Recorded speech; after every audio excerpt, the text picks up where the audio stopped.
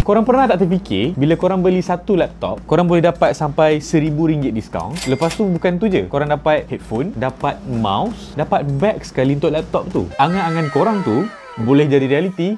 Kali ni ada offer baru. Yang bestnya, barang-barang free tu adalah daripada Razer. Bukan headphone yang murah RM10, bukan mouse yang murah RM3 tu. No, no, no. Brand yang bagus, kualiti yang bagus daripada Razer.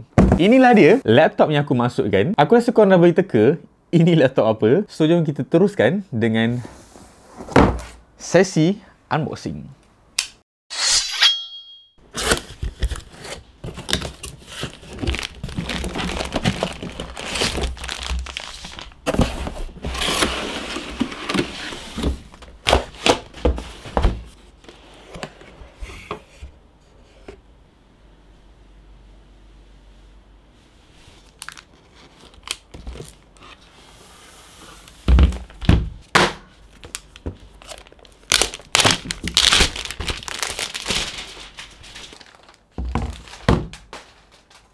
Inilah dia. Buat pertama kalinya aku tengok, aku bau pegang one on one dengan Razer Blade. This is very exciting. Rasa excited gila Antara impian laptop yang aku pernah berangan satu ketika dahulu Kita akan go through Dia punya small packaging yang ada dekat sini Dan dekat dalam ni ada beberapa perkara Kita buat keluar semua dulu Pertama sekali dia ada Uh, kita ada kain lap dekat sini. Aku rasa ini bukan saja untuk dia punya screen, malahan juga untuk dia punya exterior. Aku akan cerita kejap lagi. Of course, kena ada stiker Razer yang aku rasa aku akan simpan.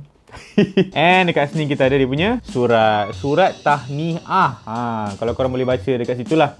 Congratulations. Congratulations, there is no turning back. Everyone knows that it's not just brute force that wins the battle.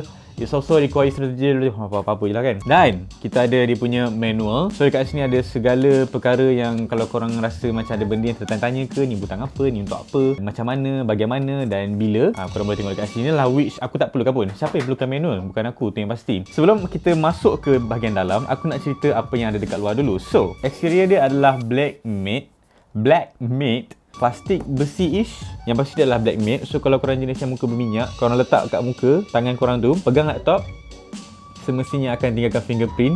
Di situlah bergunanya kita punya kain lap tadi tu. And dekat bahagian tepi ha dia ada beberapa connection lah dekat situ. Ada internet connection ada dia punya power supply ada satu USB dan juga USB-C and sebelah sini juga ada dia punya audio jack input. Di sebelah lagi punya laptop dia ada dua USB input satu HDMI masih lagi ada USB-C dan dia ada locking mechanism kat situ Okay, inilah dia pembukaan Razer Blade secara live. Aku pun tak buka lagi laptop ni. Ni aku buka depan korang. Macam nak buka? Oh, terbalik. Sorry. Ready? Bismillah. Jangan jatuh. Okay. Tada! Razer Blade! Wah. Kain tak tepi. Inilah dia. Razer Blade. Sebelum aku lupa, ini merupakan Razer Blade 2020. So Razer Blade 2020 ni ada dua jenis. Satu adalah base model, satu adalah advanced model. So yang ini merupakan 2020 base model 15 inch punya version. Dalam kotak tadi ada juga sekali dia punya power supply. Ini dia punya kabel which is kita boleh cocok 3 pin punya. Ini power supply dia. Taklah berat sangat. Okey. Bau getah, bau plastik, bau bateri. Dia punya ni memang dia sekali kan? So dia tak boleh cabut dekat situ. Alright Back to the laptop. The beast! Ha, Dah ada Banyak dah fingerprint aku dekat atas laptop ni. Keliling ni aku cakap tadi Dia macam metal-ish Plastic-ish punya material. So dia macam licin. Seperti yang korang boleh dengar Dia punya logo ni adalah plastik. Ha, Logo Razer ni plastik. Seperti juga Size laptop.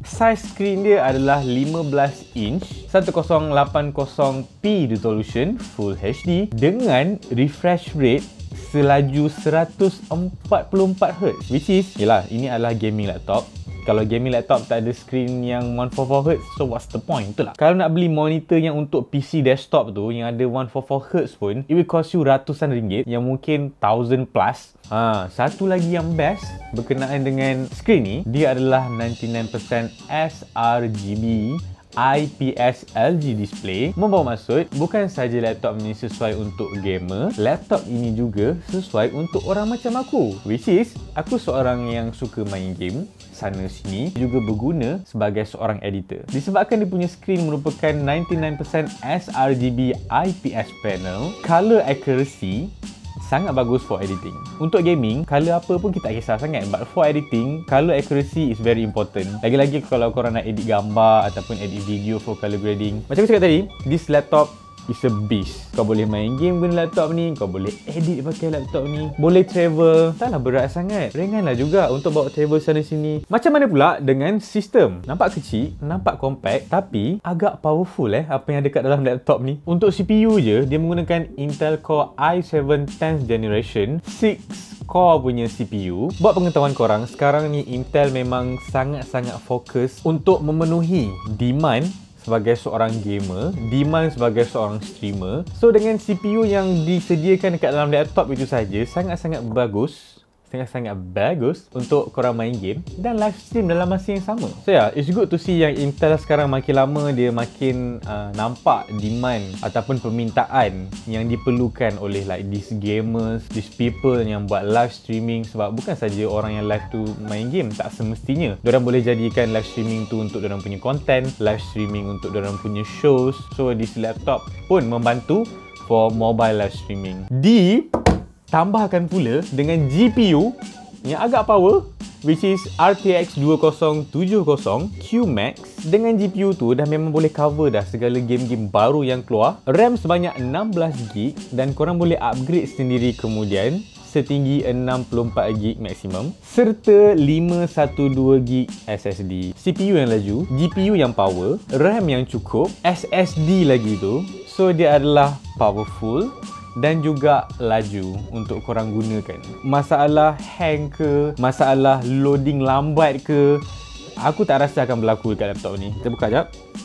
Okay, so dekat bahagian depan ni adalah dia punya keypad dan juga dia punya keyboard. Ini adalah keyboard yang standard. Tak ada super special, mechanical, tactical ke apa tak ada. Not the best but it is good enough for typing, untuk editing ke apa. Walau bagaimanapun, keyboard untuk laptop ni still ada backlighting RGB. Korang boleh set korang nak korang punya RGB tu macam mana dekat Razer punya software. Dia ada kipas di dekat bawah ni. Ada satu, dua. Dia masih ada cooling system dekat bawah ni. Cukup bagus untuk cover kepanasan yang akan dikeluarkan oleh laptop ini ketika anda bergaming ataupun editing. Konklusinya. Ha, apakah konklusi kepada review Beyblade kita ni? Beyblade? Kepada review Razer Blade kita ni. Rindu Beyblade ke? This is a very, very powerful laptop. Aku dah cakap beberapa kali dah. A very powerful laptop a good investment kalau korang merupakan seorang content creator kalau korang merupakan seorang gamer juga dalam masa yang sama laptop ni boleh buat semua benda yang korang nak dan sangat-sangat bagus for mobile gaming dan mobile editing. Mobile maksud aku bukan mobile phone punya game tak. No no no. Mobile maksud aku adalah mobile senang bergerak dari satu tempat ke satu tempat yang lain. So, macam aku cakap tadi, korang boleh beli laptop ni dengan diskaun RM1,000 serta korang akan dapat, ada kat belakang ni sebenarnya, Death Adder Essential. Ah, Razer Kraken punya headphone, bukan biasa-biasa. Dan juga korang akan dapat backpack daripada Razer. Aku tak ada sampel nak tunjuk, tapi inilah gambar dia korang akan dapat tiga barang tu yang bernilai ratusan ringgit disertakan juga dengan diskaun pembelian laptop ni sebanyak seribu ringgit. So aku rasa dia macam agak bargain jugalah kan? Korang boleh pergi ke link di description dekat bawah untuk beli jika korang berminat. Jangan lupa description ada dekat bawah. Thank you to Intel Malaysia and also Razer for this laptop. Jangan lupa pergi ke Intel Gaming punya website. Aku disediakan link dekat description dekat bawah. Untuk lebih detail berkenaan dengan Intel slash gaming experience yang Intel boleh provide provide untuk korang semua. Aku akan jumpa korang semua dekat review yang seterusnya. Jaga diri, jangan nakal. Bye.